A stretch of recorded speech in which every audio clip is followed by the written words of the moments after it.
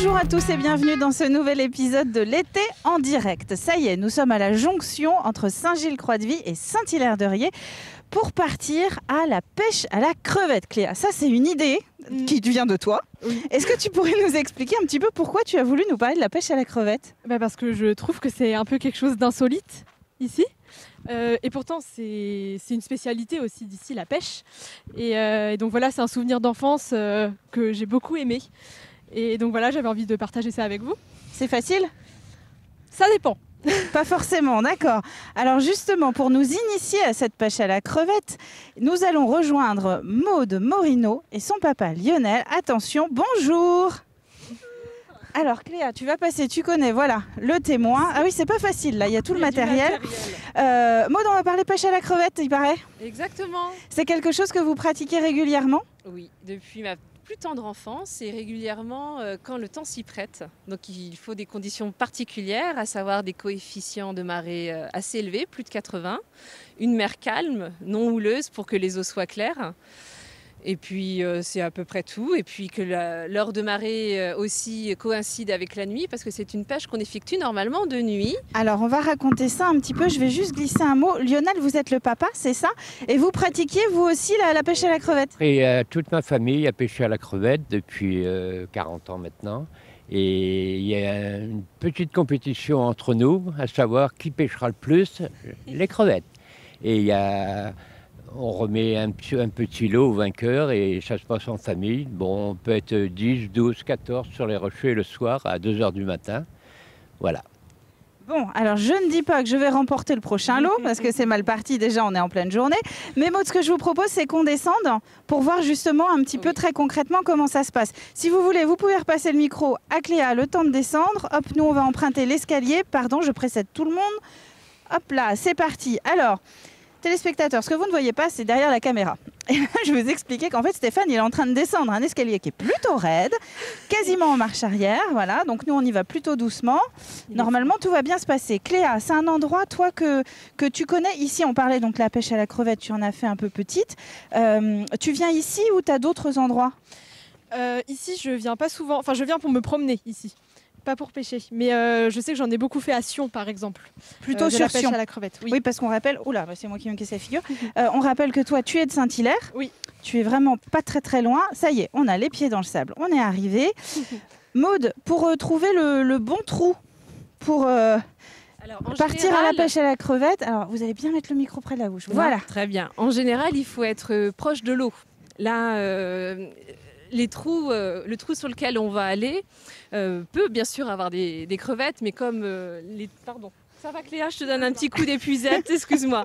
Mais voilà, il faut être à proximité de l'eau parce que c'est là que les crevettes se trouvent et bougent et les crabes. Et toujours dans la version no- nocturne. Mais ensuite, en journée, on peut, en effet, grâce aux épuisettes et aux balances qu'on va vous présenter, on peut, on peut pêcher grâce à des appâts, des crevettes et des crabes. Alors, prévoir de bonnes chaussures pour y arriver. Exactement, de bonnes chaussures. C'est simple, il faut une gorboy, donc c'est la petite boîte euh, verte. La petite nasse, en fait, hein, c'est ça Une nasse aussi, Oui. oui. ça peut s'appeler comme ça. Et puis la nuit, bah, la, la lampe frontale qu'on vise sur la tête pour, euh, pour voir les crevettes qui ont la particularité d'avoir les yeux phosphorescents la nuit. C'est à cela qu'on les pêche. Et c'est pour ça qu'en fait, il vaut mieux pêcher la nuit, c'est parce qu'on va les repérer beaucoup plus facilement qu'en plein jour. En plein jour, c'est euh, c'est au petit bonheur la chance. C'est quasiment impossible. D'accord. Parce que vous savez, nous, en, en venant, on fait quand même pas mal de routes quand on, quand on tourne les épisodes de l'été en direct, et on se disait qu'on avait des souvenirs d'enfance de pêche à la crevette, Oui. mais plus forcément aujourd'hui. Est-ce qu'on en trouve toujours facilement de la crevette quand on fait comme ça les trous d'eau à marée basse? Non, beaucoup moins. Ah, on est d'accord. Oui, on est d'accord. Ex- Oui, oui, oui. Je pense qu'il il y en a moins qu'avant. Par contre, la nuit, j'en reviens, on- l'été dernier, on a pêché plusieurs fois entre 800 et, et 1 kg par personne. Mais non. Et ce sont des belles crevettes qu'on appelle du bouquet, grosses comme le pouce. Ah bah oui, du Voilà. bouquet, puis en plus c'est les meilleurs ça. Ce sont les meilleurs. Alors, on va arriver, c'est ça, à l'espace que vous avez Voilà, préparés. préparé avec du matériel Avec mes neveux et nièces qui reprennent la relève, donc c'est la troisième génération de pêcheurs à la crevette. pêcheurs à la crevette. Hop, Alors vous venez nous on montrer avance. un peu les... Maxime, tu vas nous montrer les crabes Hop là Alors Justine, tiens, je te donne une épuisette pour que tu pêches, Alors, moi, je euh, vais- que tu montres comment on fait. Je vais me mettre juste Simplement. à côté. Super. Alors, un petit plan pour essayer de comprendre. Alors, On a profité pour Ah, pêcher bah là. quelques bigorneaux Oui, n'allez hein. pas me faire croire que c'est de la crevette, ça. Non, non, non, non, non.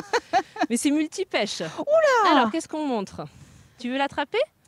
Alors là, Ah, Stéphane, il y a du monde à l'écran. Regarde. Mais qu'est-ce qu'elle est belle Donc ça, ce sont des baleresses ou étrilles. Et puis également, on pêche des crabes verts qui nous permettent de faire des soupes de crabes après, avec des tomates, des oignons et du vin blanc. C'est lui qui t'a blessé tout à l'heure Oui. Eh oui, ça peut être très dangereux. Ah bah, Les tournages de l'été en direct, tu sais, des fois, euh, c'est un peu dangereux. hein. Notre pêche est très minimaliste ce matin. Je laisse montrer, Cléa. Et puis les autres. Alors, qu'est-ce qu'on a? Euh, Moi, j'ai pas vu. Ah oui, d'accord. Bon, pour l'apéro, on repassera. Exactement, on passera. Ah, Et mais voilà la, voilà, la pêche nocturne qui a donné ça. Donc, qui sont plus grosses et une fois cuites, elles sont toutes roses. Et une fois cuite, alors ça, effectivement, c'est ce qu'on ce Ah, qu'on c'est connaît. Ce que vous connaissez. Donc, ça, c'est super bon. En dehors de, de l'heure, Maude, euh, donc on a dit plutôt la nuit. On a vu un petit peu le matériel. Là, je crois qu'il est tout, tout récapitulé ici. Donc, la fameuse balance. Je vous explique. Oui, on en a mis plusieurs. En général, Donc, on, on en a vient la 5 ou nuit, 6. On vient avec On vient ça. la nuit, on le met dans le trou d'eau comme ça. Vous avez vu, il y a un appât, c'est un morceau de tête de merlu qu'on pose ici. Hop Et puis on laisse à peu près une ou deux minutes. Et puis quand on relève, en général, il y a des crevettes et des crabes. Ah, C'est facile dit comme balance. ça. hein. Oui, c'est facile dit comme ça. Mais comme toute pêche, il faut beaucoup de patience. Ouais. Et puis surtout, on a... il y a le timing qu'il faut respecter parce qu'on est tributaire de la marée. Évidemment. en général- Basse mer. Et voilà, des chaussettes mouillées. On a à peu près deux heures pour pêcher la nuit. Euh, C'est assez rapide. C'est assez rapide. oui. Eh bien, Maude, merci beaucoup pour cette démonstration. C'est très gentil à vous d'avoir passé un petit peu de temps avec on nous. est ravis tous de vous faire découvrir notre passion de pêcheur à la crevette. De pêcheur à la crevette. Je vais juste récupérer pour te donner le mot de la fin. Cléa, merci d'avoir passé du temps avec nous. Ah bah, merci à vous. ici sur ton pays, entre Saint-Hilaire et Saint-Gilles-Croix-de-Vie. Si vous avez envie de, de venir dans le coin, moi j'ai une bonne personne ressource à vous fournir si vous avez des questions pour découvrir le territoire. En tout cas, vous pouvez retrouver l'ensemble de ces épisodes, que ce soit la découverte de Saint-Gilles, que ce soit la découverte de la chaise Giraud aussi qu'on a fait toutes les deux avec euh, le maire ou donc la pêche à la crevette. C'est sur tvvendée.fr que ça se passe. Je vous conseille aussi d'aller faire un petit tour sur la page Facebook de TV Vendée. On vous a mis des petits directs entre les tournages. Fort sympathique, ma foi, je crois. Je crois, oui. C'est la fin de ce nouvel épisode de l'été en direct. Merci à vous de l'avoir suivi. On se retrouve très vite, évidemment, pour une nouvelle découverte sur le territoire. Moi, je vais à la pêche. Merci.